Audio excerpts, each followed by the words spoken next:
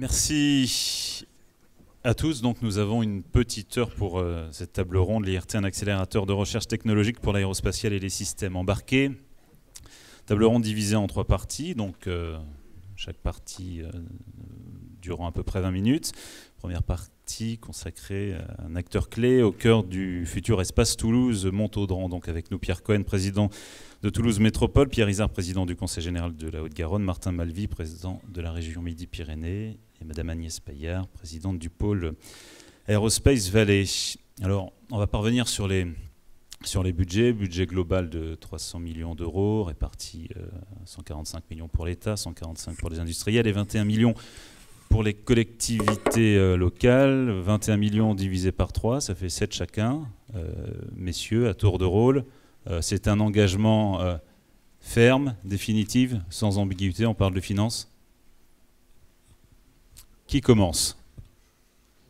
On, commence fort. Voilà. Directement, voilà. 3 x 7, 21. Oui.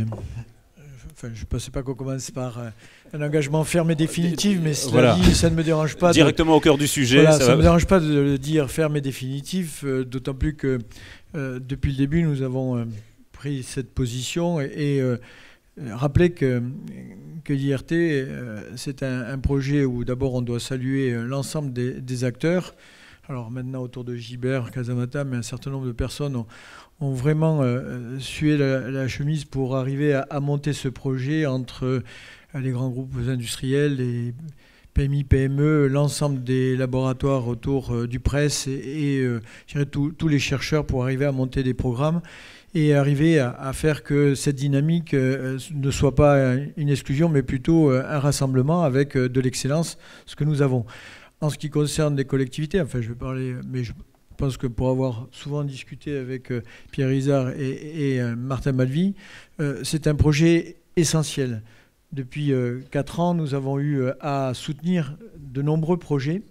Euh, celui-ci, il est essentiel parce que si on regarde notre histoire de notre agglomération et de notre région, on voit bien que nous avons des excellences industrielles. Je crois que certains sont intervenus ce matin. On a des excellences au niveau des entreprises, on a de l'excellence au niveau de la recherche et de l'enseignement supérieur, surtout académique.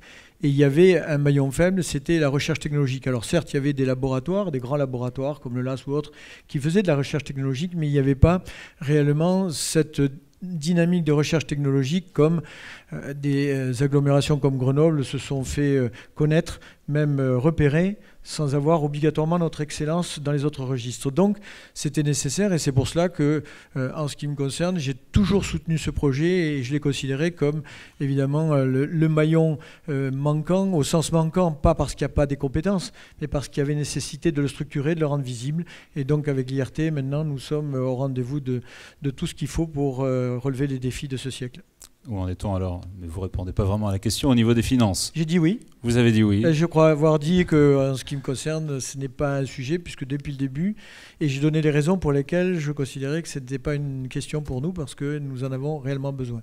D'accord, très bien. On va faire le tour de table. Vous répondez la même chose, j'imagine.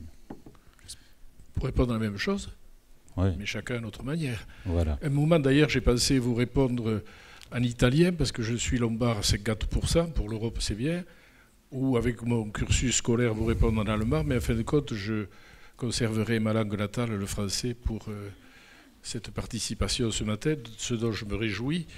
J'avais, il y a quelques jours, reçu le président Casamata pour euh, évoquer cette question, et je crois qu'il connaît très bien la réponse du Conseil général. L'Institut de recherche technologique qui vient d'être acté le 6 septembre, et qui s'appelle donc exupérie,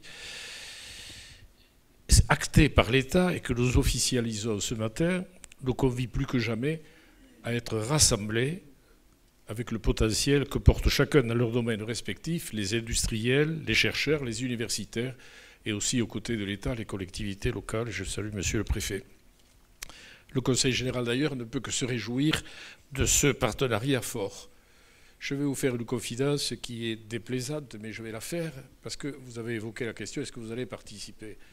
Je suis depuis deux jours dans ma 46e année de mandat de conseiller général et je fête aujourd'hui même mes amis me le reprochent souvent, mes adversaires n'en parlent pas, d'être président du Conseil général depuis 25 ans.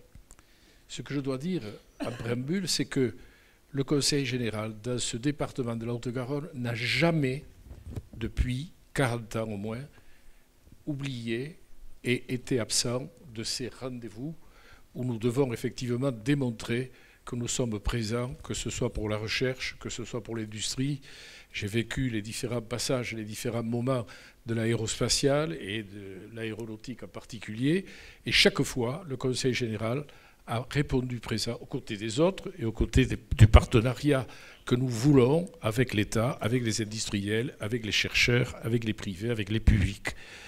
Nous nous réjouissons fort de la création de l'Institut de recherche technologique et une fois de plus, le Conseil général sera présent en Haute-Garonne dans ce partenariat fort entre tous les acteurs régionaux.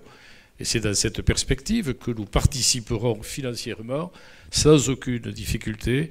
Nous apporterons notre force participative et nous le ferons à travers le programme immobilier défini sur Toulouse, Montaudan et Aerospace Campus pour notamment participer à la réalisation des bâtiments, des dessertes aux équipements publics divers nécessaires à ce projet fédérateur, comme nous le ferons aux côtés de mes partenaires locaux pour tout ce qui concerne l'aménagement des routes autour de l'aéronautique. Encore une fois, le Conseil général ne peut que se réjouir de cette euh, nouvelle participation, parce qu'elle représente tout ce que nous voulons pour Toulouse, la métropole, le département de l'Haute garonne et que Martin euh, m'excuse de le dire, pour la région Midi-Pyrénées. Nous sommes donc très unis dans ce partenariat et nous serons d'un bout à l'autre présents dans tout ce qui concernera, dans les mois et dans les années qui viennent, l'IRT. Donc c'est un oui franc et massif. Martin Malvy. Oui, je voudrais d'abord, parce qu'on n'est quand même pas là que pour parler de gros sous, euh, même si ça vous intéresse. un petit peu, ça, ça nous intéresse. Oui, mais je vais vous en parler. Ouais, d'abord, euh, moi, comme l'ont fait Pierre Cohen et Pierre Isard, euh, saluer le, travail qui a été effectué depuis euh, deux ans, trois ans maintenant. Hein. la patience, ce n'était pas facile. Et Louis Gallois le sait, avec lequel on a souvent parlé. La construction était difficile, parfois laborieuse. Il y a eu beaucoup de patience de la part de Gilbert Casamata, aussi beaucoup de doigté. Je vais saluer ceux qui l'ont accompagné dans cette, cette opération. Euh, oui, bien sûr, on a dit qu'on ira, on ira. Mais euh, moi, on ne peut pas. C'est un jour historique, ça a été rappelé. Euh, il faut resituer la naissance de l'IRT dans, son contexte. Si l'IRT n'avait pas été dans un contexte, il n'y aurait pas eu d'IRT. Il, y, a un contexte. D'abord, il y a le contexte industriel des deux régions. J'insiste sur ce, point parce que ce sont les deux régions, Midi-Pyrénées et Aquitaine, euh, nous constituons le premier pôle européen de l'aéronautique, il faut toujours le, rappeler, donc ça explique aussi euh, l'IRT. Euh, et il n'y a pas que l'IRT, il y aura l'accompagnement, Pierre Cohen l'a évoqué, sur Montaudan, l'espace de Montaudan sur lequel la région est, largement engagée. Le préfet de région d'ailleurs rappelé tout à l'heure, M. Comé, les responsabilités nouvelles qui, seront celles de, la loi de demain en direction de l'économie et, notamment les entreprises. Euh, nous serons aussi, puisqu'au Palais Grosso, nous serons aussi à, hauteur de 25 millions euh, dans le cadre du plan campus sur euh, Montaudran, de 14 millions sur Clément Adair, sur Montaudran, de 13 millions sur la maison de la formation. Et puis il y a le CEATEC qui arrive. Nous sommes, sommes mis d'accord avec Pierre, Pierre Cohen. C'est le Grand Toulouse qui aura la maîtrise d'ouvrage de l'IRT, euh, la région qui a pris le financement du CEA, alors au-delà des, 7 millions de CEA, sera maître d'ouvrage du, CEA. Et puis j'insiste sur un point, parce que la table ronde est, bref, j'insiste sur un point. Euh, nous, vraiment, nous nous félicitons de la naissance de l'IRT. La partie euh, académique, la partie industrielle. Le fait que les industriels suivent, le fait que de nouveaux industriels arrivent, le fait qu'il y ait une première vague de projets, qu'il y en ait une seconde. Moi, je, demande à ce qu'on n'oublie pas, mais je sais que ce n'est pas du tout dans l'esprit, mais qu'on n'oublie pas, qu'on n'oublie jamais le réseau euh, des PME et des ETI. Je pense que la réussite de l'IRT, bien sûr, avec les grandes entreprises, elle sera. Mais la réussite de l'économie, la réussite régionale des deux régions, elle sera aussi avec euh, les PME. Il ne faut pas oublier que nous avons plus d'un millier d'entreprises dans ces deux régions PME et ETI, plus d'un millier d'entreprises. Nous avons, nous, signé plus de 250 contrats avec les entreprises du secteur de l'aéronautique depuis 5 ans. Et nous leur avons affecté, nous avons affecté sur la période 2011-2014 la région 140 millions d'euros. Quand j'entends les chiffres qui sont avancés, les 145 millions, euh, je veux pas qu'on oublie également euh, ces 140 millions qui sont affectés par la région sur les contrats d'appui et euh, sur les appels à projets, Aérosat ou autres, qui sont des financements apportés pour partie 50% sur le budget de la région et pour partie 50% sur les fonds européens que nous gérons, le, FEDER. Donc moi, je, veux replacer l'IRT dans l'ensemble d'une démarche politique de la région et dans l'ensemble du territoire pour ne pas oublier d'y associer les, les, petites et moyennes entreprises et les ETI, car euh, ce sont elles qui demain porteront essentiellement le développement de l'emploi. Merci Martin Malvy. Donc euh, IRT, euh, fédérateur des PME PLV, on va en parler avec vous justement. Agnès Payer, c'est un peu ce que fait le, pôle de compétitivité à Bordeaux. Comment ça à Bordeaux Pardon. Comment ça à Bordeaux hein? Comment ça à Bordeaux? Non, le pôle de compétitivité, il est birégional, vous le savez bien. Hein, voilà. Alors, on s'entendait bien. Voilà, voilà. Alors, euh, effectivement. Même combat, j'allais dire. C'est même combat, oui, tout à fait. Donc, effectivement, donc, je voudrais souligner aussi et, féliciter comme les, tous ceux qui ont parlé maintenant, euh, le travail de l'équipe hein, euh, qui a été euh, d'une pugnacité et d'un courage qui ne s'est pas démenti et qui a abouti au résultat d'aujourd'hui, même s'il y a eu parfois des périodes où on se demandait s'ils allaient y arriver, on est heureux qu'ils aient pu le faire. Alors effectivement, au départ, le pôle de compétitivité et l'IRT ont pris peut-être des chemins un peu divergents, le pôle ayant ses propres priorités et l'IRT ayant effectivement une, ambition qui apparaissait un peu différente. Alors on est revenu maintenant à, quelque chose qui est euh, de plus en plus, euh, j'allais dire, fusionnel, hein. c'est-à-dire que euh, l'IRT a effectivement pris ses marques et s'appuie de manière bien naturelle sur le pôle de compétitivité, comme ça s'est fait pratiquement, je crois, dans tous les IRT nationaux, c'est-à-dire qu'il y a un grand pôle de compétitivité, je crois qu'Aerospace Valley est un grand pôle de compétitivité qui a 650 adhérents et 350 PME adhérentes, et que nous sommes, avec l'équipe en place, dans une co-construction finalement euh, de la suite. C'est-à-dire que nous avons déjà partagé notre feuille de route de manière euh, très anticipée hein, depuis maintenant un an que Aerospace Valley a rebâti sa feuille de route. Nous l'avons bâti avec l'IRT. Nous avons associé euh, toutes les, personnes de l'IRT à, cette élaboration. nous avons effectivement maintenant décidé de travailler avec les PME. Donc un des administrateurs du pôle de compétitivité est le représentant des PME au sein de l'IRT. Et là, je dois dire que effectivement ce long chemin vers l'élaboration de l'IRT a perdu en route un certain nombre de PME qui euh, avaient peut-être des objectifs plus court terme et dans cette longue maturation, ils n'ont pas pu euh, financièrement et euh, mettre des ressources pour pouvoir suivre le projet. Donc je crois que maintenant ils y sont prêts.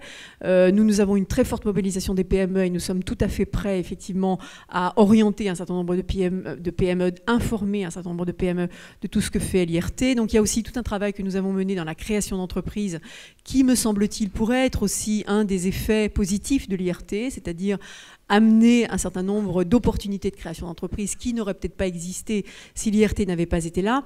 Et moi, je voudrais aussi, euh, même si l'IRT, on le sait, a une ambition nationale, voire internationale, je voudrais bien que l'on réaffirme son ancrage régional. Hein, euh, et je pense que le pôle de compétitivité peut aussi aider dans ce sens. C'est-à-dire que même si les stratégies de recherche euh, vont venir du haut, on a cité les groupes de travail du, du CORAC, on a cité le GIFAS, je voudrais bien réaffirmer le fait que nous sommes ancrés dans un territoire régional. Nous devons rayonner, l'IRT doit rayonner à, l'échelon national et international, mais bien évidemment, c'est par la proximité des acteurs et par la richesse des acteurs locaux que cette IRT prendra euh, son essor. Merci Agnès Payer. Euh, rapidement, messieurs posent euh, de la première pierre, livraison des locaux, parce qu'ils sont impatients à l'IRT. Ils ne sont pas nombreux pour l'instant, mais à terme...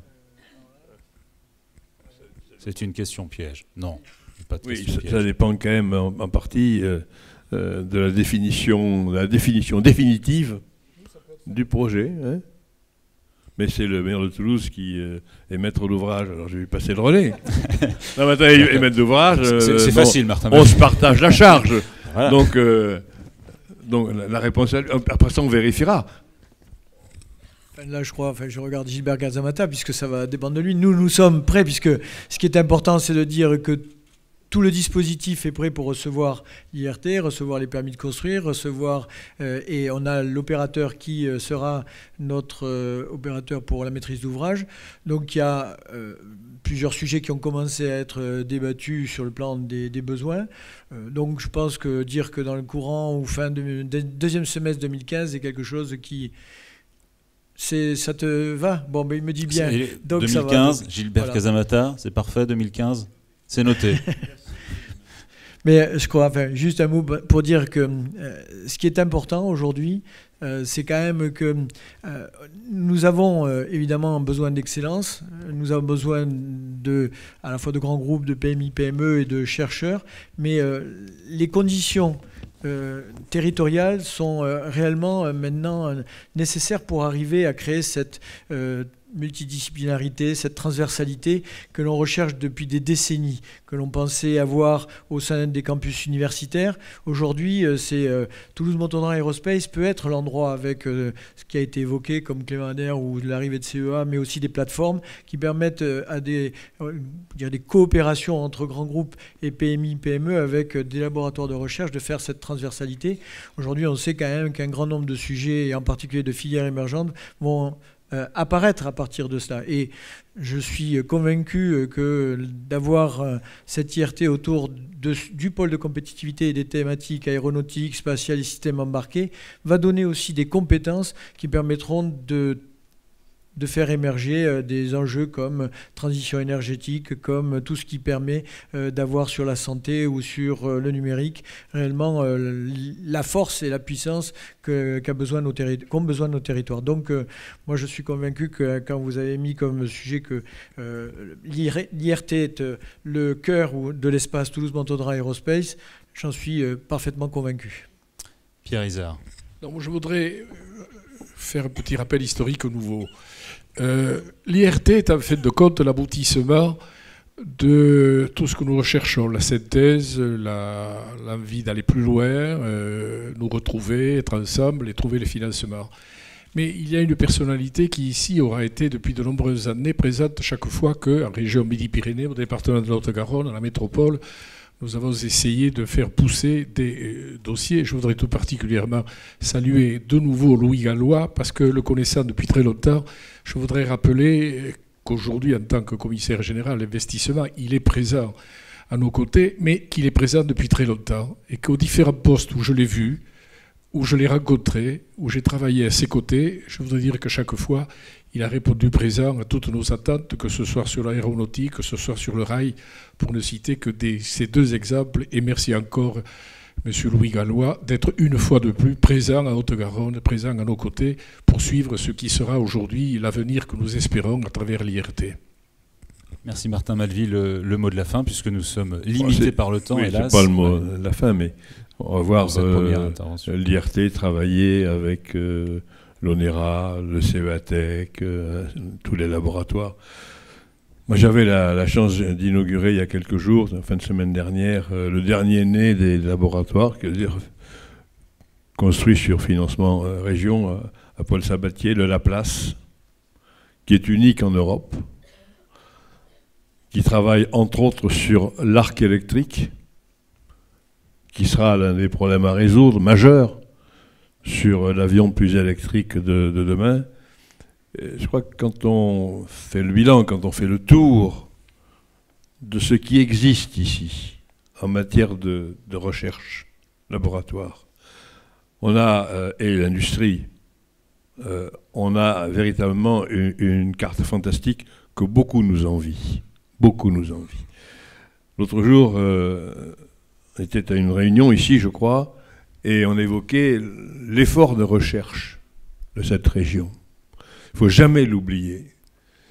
Il y a euh, un an, nous disions que nous étions parmi les huit régions d'Europe, les 270, à se distinguer par l'effort en matière de recherche par rapport au PIB. Nous étions à plus de 4%, 4,3, 4,4, alors que les critères de Lisbonne, c'est 3. Et qu'hélas, et qu'hélas, peu de pays aujourd'hui ont atteint les 3 de Lisbonne. Et euh, le préfet euh, Comé, qui vient de partir, mais le préfet Comé me faisait remarquer, ce que je n'avais pas vu, c'est que nous sommes maintenant non plus à 4, mais à 5%. C'est-à-dire qu'il y a une densité de recherche. Je sais bien que c'est ramené à la population, c'est-à-dire à, l'habitant. Mais il y a là un effort de recherche sur le territoire, public et privé, qui est, considérable. Et je suis convaincu que l'IRT, bien entendu, sera l'un des atouts à la fois pour s'appuyer sur la recherche, mais également pour provoquer la création de, nouveaux sites et de nouveaux laboratoires et de nouvelles thématiques de recherche.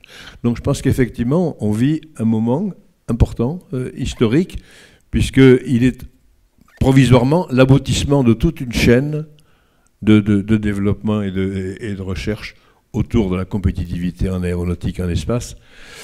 Moi, je veux encore une fois, mais comme l'a fait euh, Pierre, comme l'a fait deux Pierre, euh, remercier tous ceux qui ont participé et le commissaire gallois, mais qui est aussi de la région. Si, si, vous êtes aussi de la région, monsieur le commissaire. Benneville, proche de Montauban, n'oubliez pas. On lui rappelle parfois. Merci. Hein. Messieurs, Madame la Présidente, Messieurs les Présidents, euh, merci pour votre participation. Ce fut court, mais, mais bon.